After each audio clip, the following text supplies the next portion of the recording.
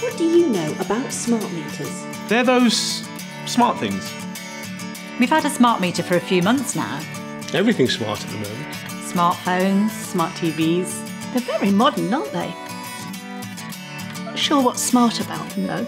Smart meters are the next generation of meters for gas and electricity. The government says they should be installed in every home in Britain, and at Shell Energy, we think they're a great idea too. It's the next step towards a smarter energy grid. Do you know what benefits there are to having a smart meter? They're like the future. They basically let you see exactly how much energy you're using. And how much we're spending. so you can be more in control of what you're using energy wise. And see where you might be wasting energy to help you save a bit of money. Look, this is the energy I'm using now. And it transmits the info, right? Information about your energy use gets sent to us automatically via a secure network, so no one has to come round to read the meter. That's another reason why we got one, wasn't it? We were never in. She's in bed. And you won't need to send us meter readings, meaning no more estimated bills.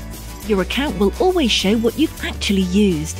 Your smart meter's in home display lets you see the exact amount of energy you use throughout the day. With your gas, you can see what you're using in half hour intervals. And with your electricity, you can see your usage in pretty much real time. Look, it knows I've put the kettle on. This is the thing they give you so you can monitor how much energy you're using in real time. And it's all done wirelessly. Or you can see your energy use on the app. You can also use your in home display to see how much energy you've used in previous weeks and months. You can use it to set energy use goals, help you stick to a budget. It's very clever. So we can start turning off those lights we're not using, can't we? Don't look at me. Once our engineer has fitted your smart meter, it will start sending data. But what about if someone hacks into it? No one else can see it or get access to your smart meter. You can find out more about how we protect and store your data in our data guide online. You're in control of how often the data is sent to us. You can choose every month, every day, or every half an hour. Since we've been sending in our data, Shell Energy have sent us some really useful energy saving tips and advice on how we can avoid wasting energy. Apparently, we use nearly 20% of our energy between 9 and 10 am. That'll be your long showers. Being able to see your energy use in real time can really help you take some steps to save energy because you can see exactly where you might be wasting energy.